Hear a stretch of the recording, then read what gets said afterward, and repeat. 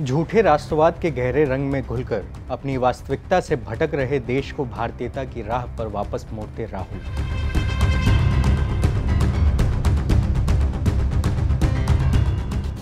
संघ भाजपा के शातिर षड्यंत्र के बीच बहुसंख्यवाद की राजनीति को बंधुत्व और भाईचारे की राह पर वापस मोड़ते राहुल।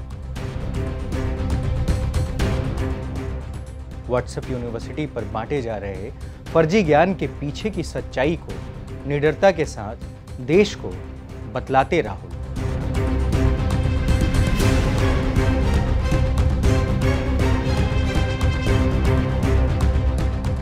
निजीकरण की गहरी साजिश के खिलाफ पूंजीवाद की परतें उधेड़ते राहुल। आज राहुल की बात हो रही और क्यों हो रही है इस वीडियो में बताएँ।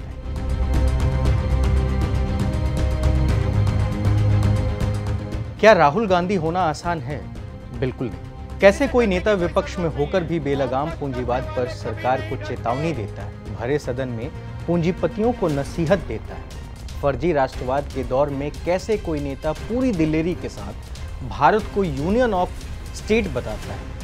राज्यों की बात करता है। वहाँ की विभिन्न संस्कृतियों और भाषाओं को बचाने की बात करता है।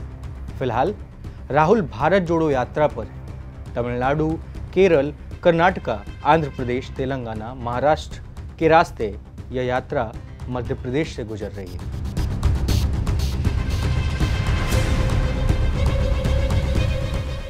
राहुल गांधी ने इस यात्रा के माध्यम से धार्मिक कट्टरवाद की गुलाबी कालीन के ऊपर से धन पशुओं के दस्तरखान को खींचकर फेंक दिया है। देश के आदिवासी समाज को जल जंगल ज़मीन की लड़ाई के लिए प्रेरित करके राहुल ने इस देश के मूल निवासियों को उनकी पुरानी पहचान लौटा दी। बीते दिनों, राहुल ने गुजरात में आदिवासियों की एक सभा को संबोधित किया और कहा, वे आपको बनवासी कहते हैं। वे यह नहीं कहते हैं कि आप भारत के पहले व असली मालिक हैं, बल्कि यह कहते हैं कि आप जंगल में रहते हैं। आप जंगली हैं। इसका मतलब है कि वे नहीं चाहते कि आप शहरों में रहें। वे नहीं चाहते कि आपके बच्चे इंजीनियर बने। डॉक्टर बने, विमान उड़ाना सीखें, अंग्रेज़ी बोले। वे चाहते हैं कि आप जंगल में रहें, लेकिन वहीं तक नहीं रुकते हुए। उसके बाद वे आपसे जंगल छीनने लगते हैं। अगर ऐसा ऐसा ही चलता रहा तो अगले पाँच से दस साल के भीतर न जाने कितने जंगल उजड़ जाएँगे, कितने जंगल दो तीन उद्योगपतियों के हाथों में चले जाएँगे और आपके पास रहने के लिए कोई जगह नहीं होगी। शिक्षा, स्वास्थ्य और नौकरी भी नहीं होगी। मैं आपको बता रहा हूँ कि देश आपसे छीन लिया गया है। राहुल आदिवासी समाज को लेकर क्या कहते हैं और क्या राय रखते हैं, आप इस वीडियो में देखिए। इसके आगे फिर मैं बताऊँ जब मैं छोटा था, मेरी दादी ने मुझे एक फ़ोटो की किताब दी थी और उस पुस्तक का नाम था, तेंदु एक आदिवासी बच्चा। और वो वो किताब मुझे सबसे अच्छी लगती थी।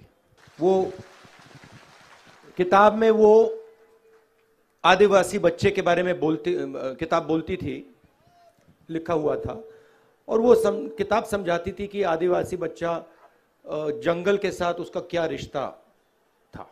और हर दो तीन दिन में अपनी दादी को पकड़ लेता था और वो किताब उनसे पढ़वाता था। उसमें बहुत बहुत सुंदर फ़ोटो थी। वहाँ इन चित्र बने हुए थे। और और लड़के के पास तीर कमान था, वो मछली को मारता था।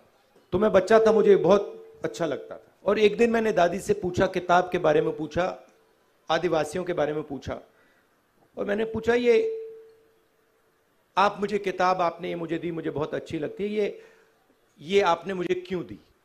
और दादी ने जवाब दिया, क्योंकि यही हिंदुस्तान के असली मालिक हैं। और और अगर अगर तुम्हें उन्होंने मुझे बोला अगर तुम्हें हिंदुस्तान समझना है तो सबसे पहले तुम्हें आदिवासियों को समझना होगा उनकी ज़िंदगी को समझना होगा जंगल को समझना होगा जल को समझना होगा। और उनकी संस्कृति के समझे बिना रीति रिवाज समझे बिना तुम हिंदुस्तान को समझ नहीं सकते हो। मैं मैं छोटा सा बच्चा था तो मैं ये बात भूल गया था। कुछ साल पहले मैं उनके घर गया था उनकी म्यूज़ियम में मैंने वो वो किताब दिख गई मुझे। और मैं हिंदुस्तान के हर नागरिक से ये कहना चाहता हूँ, अगर आप हिंदुस्तान को सचमुच में समझना चाहते हो, आपको हमारे आदिवासी भाई और आदिवासी बहन जो हैं, उनका इतिहास, उनका जीने का तरीका, उनका जंगल से रिश्ता इन्वायरमेंट से रिश्ता समझना होगा। क्योंकि आप, आपने ही इस धरती पे पहले पैर रखा था। राहुल ने आदिवासियों को कहा, आप देश के पहले मालिक हैं, लेकिन देश आपसे छीन लिया गया है। राहुल इस पूरी यात्रा में आदिवासी भाई बहनों के साथ कदम से कदम मिलाकर चल रहे हैं। भगवान बिरसा मुंडा और टाटिया मामा को आदर्श मानकर आदिवासियों की अस्मिता, स्वायत्तता और संस्कृति के लिए लड़ रहे हैं। क्या आपने बीते दो, तीन, चार, पाँच दशक में ऐसे किसी नेता को देखा जो खुलकर आदिवासियों की बात कर रहा हो, नहीं नहीं देखा होगा और आप देख भी नहीं पाएँगे। आप देखिए कि त्योहारों में राहुल आदिवासियों का हिस्सा बन रहे हैं जन्मस्थली जा रहे हैं, गौरवशाली इतिहास को पुनः जागृत कर रहे हैं। समूचे विश्व को आदिवासी समाज के खूबसूरत परिवेश का संदेश पहुँचा रहे हैं।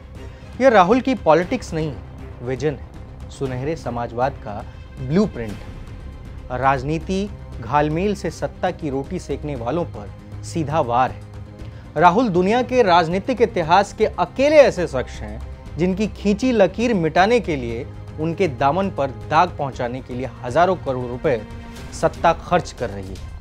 लेकिन फिर भी वो कामयाब नहीं सब फेल हो चुका आज राहुल दुनिया के अकेले ऐसे शख्स हैं, जिन्होंने भारत को जोड़ने के लिए इतनी विशाल पदयात्रा की शुरुआत की है, जो कि इतिहास में दर्ज हो चुकी है। नोटबंदी से लेकर आज तक उनकी हर भविष्यवाणी सही साबित हुई, सत्य साबित हुई। कोरोना से लेकर अर्थव्यवस्था तक सरकार उनके सुझावों को किसी न किसी तरीके से मानने को मजबूर रही है। भले पहले उन लोगों ने मानने से इनकार किया हो, लेकिन बाद में वहीं आना पड़ता है। राहुल ने बेरोजगारी, महँगाई और चौपट अर्थव्यवस्था में सुधार के लिए बिगुल फूंक दिया। भारतीय राजनीति का यह सबसे बड़ा टर्निंग पॉइंट है। यह यात्रा भारत को स्वावलंबी, मज़बूत और निडर बना रही है। लड़ना सिखा रही है। लड़के कैसे जीतना है, वो बता रही है, वो सिखा रही है। और ऐसे ही ये भारत जोड़ो यात्रा चलती रहेगी और भारत का बच्चा बच्चा इससे जुड़कर अपने भविष्य को बेहतर की उम्मीदी से देख रहा है और देखते हुए वो कल एक ऐसा आएगा, जब वो अपने भविष्य को सुधरता हुआ देखेगा। भारत जोड़ो यात्रा के लिए राहुल गांधी का धन्यवाद। करें बहुत बहुत शुक्रिया।